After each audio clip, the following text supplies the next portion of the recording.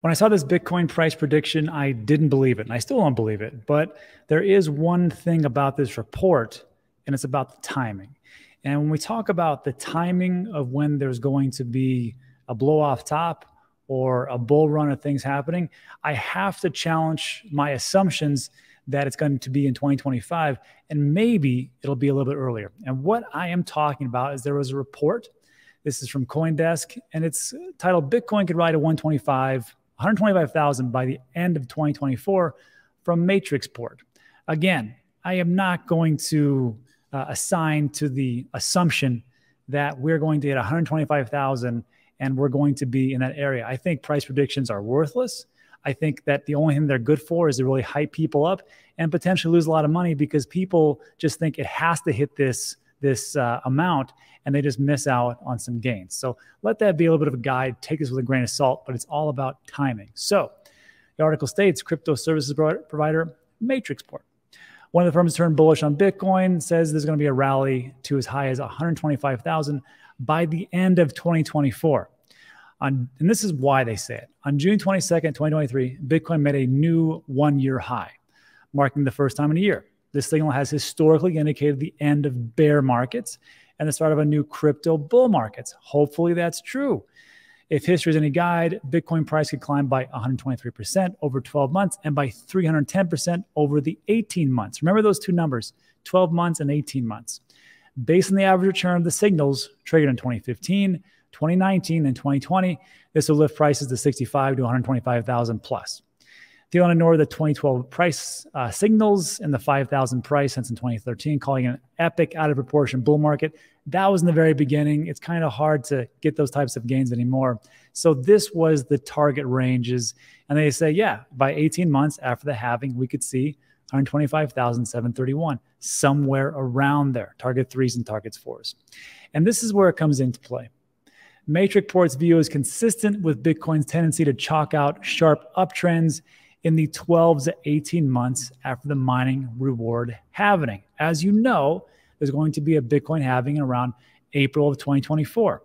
And then we did an actual entire video about this. This is it was a tweet from Plan B. Yes, Plan B stock to flow, which didn't pan out after so much time, and even Plan B can will attest to that. But you know, all models are wrong, and only some are useful. This one just didn't make it. But there is one thing that he talked about here, and he says, buy Bitcoin six months before a halving and sell 18 months after.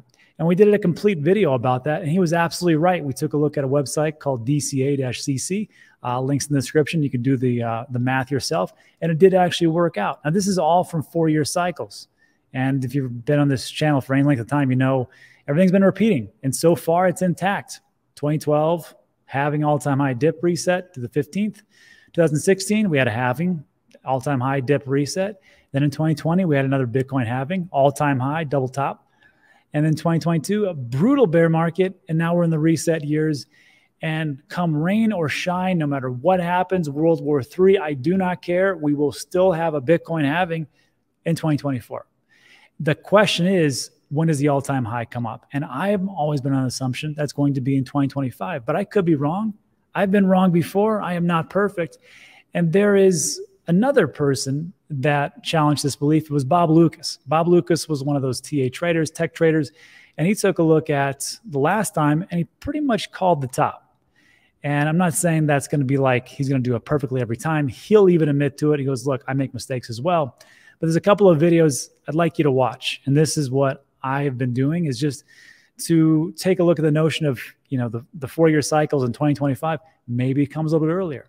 And there's a video called a new four year cycle and a new season. I will link those in the description. You can take a look at those and see what you think. But again, it all comes down to challenging because one of the pitfalls that I have is that I start to get into this narrative and I think there's only one way forward. And I don't take a look at the other information out there, which could really screw me if I don't do the right things and take a look at the data that's right in front of my face. And to do those things, there's a video I'd like you also to watch uh, you can find this on YouTube or go to Dan Teaches Crypto. It's 100% free. Two big videos, all my scripts I've had and valuable lessons for investing into crypto.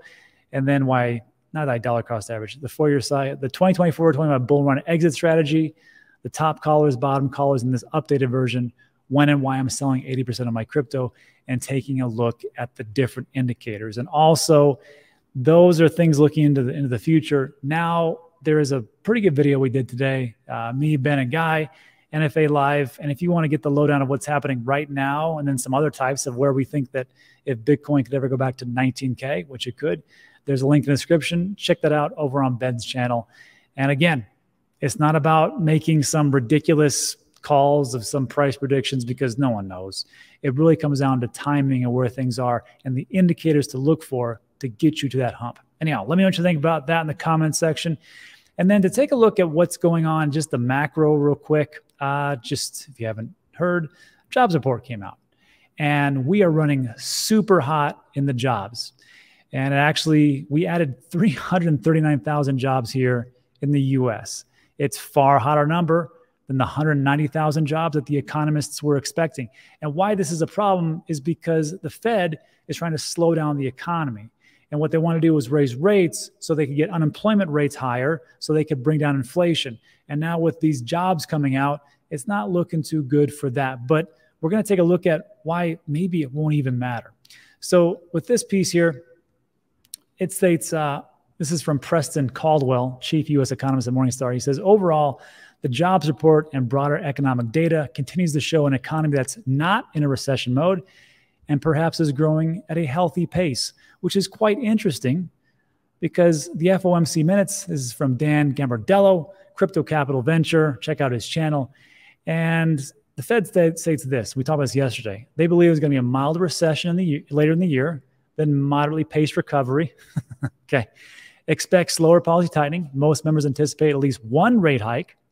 Expect a slower pace of increases, and some officials have reservations and suggest pausing the rate hikes. I got to tell you, that might not be a bad situation because what everybody's been talking about is, well, if they don't, if they keep doing these things, we're going to go through stagflation. I don't think we're going to hit that immediately, and that is when we see stagflation is when uh, the economy slows, which we're not seeing right now. Inflation increasing, we're not seeing that, and the unemployment rate is increasing. And actually, even though jobs have been added, so far we are seeing a little bit. I'll I'll talk about in a second. So with the inflation, just so you know, I know people are freaking out about this number. Jay Powell's really freaking out about it. But if you take a look at just how the inflation is in, in the United States, we're doing a pretty darn good job of, of reducing it. This is the CPI numbers. And over the last three months, three months, we've gone from 4.93 to four. That's not bad.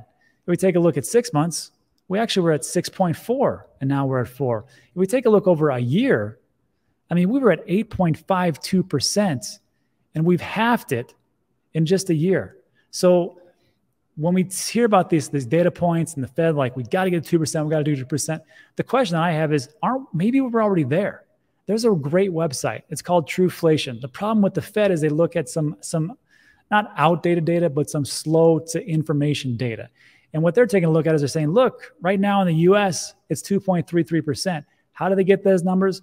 There is a link, a link in the description. It's called their, it's their methodology. And they state, look, our indexes are available 30 times faster than conventional tools with daily reporting keep you ahead. We've got 30 providers with aggregators. We ensure a representative and balanced measurement, access to more than 10 million data points as opposed to the traditional 80,000 points. And you know what's great about this site? It's free. You can use it right now and check it out. Now, USA, and of course, it takes a look at a lot of different things housing and transport, food and beverage, uh, alcohol and tobacco, which did go up, which is not exciting to me, clothing, and so on and so forth. But 2.33% in the USA, which is far ahead of that 4% of which we think we're at. Maybe we're in between. But anyhow, the Fed's doing the job. Although I will say this uh, friends of ours in the UK, it's not going too hot. You guys are really high, and I can understand why there's uh, recessions recession talk and actual recessions going on with 11 and a quarter. I think it's even higher than what's been reported by the government. So, again, I don't know if we're hitting this, but I mean, as far as like inflation increasing, we're going down. And then on top of that, as far as like unemployment, the initial claims came out, and this is, of course, Ben's site. Get 10% off the first month, link in the description, all that good stuff.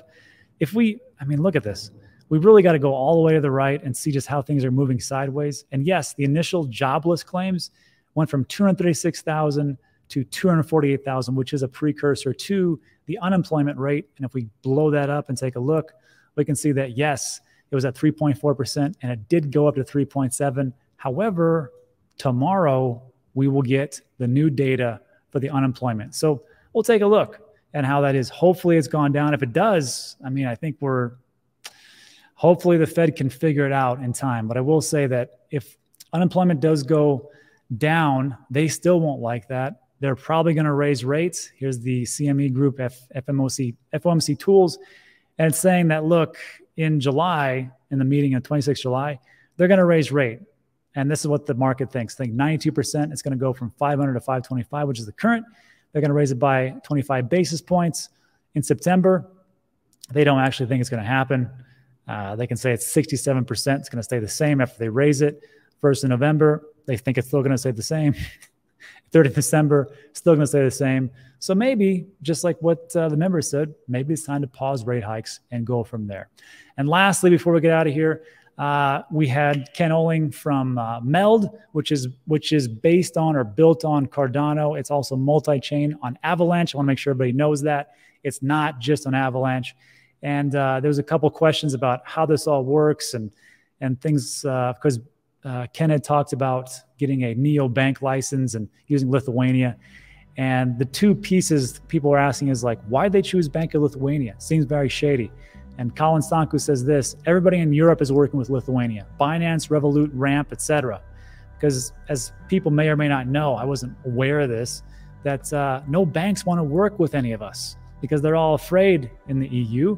So that's why they picked Lithuania, and that is it. I will link that also that interview in the description, but that is it for today. So look, a lot of information packed a little bit of time, but uh, a lot of things going on. If you like today's video, give it a thumbs up. Consider subscribing. Everything we talk about is extremely time sensitive, but that's it for today. So thanks so much for stopping by. I do appreciate you, and I'll see you on the next one.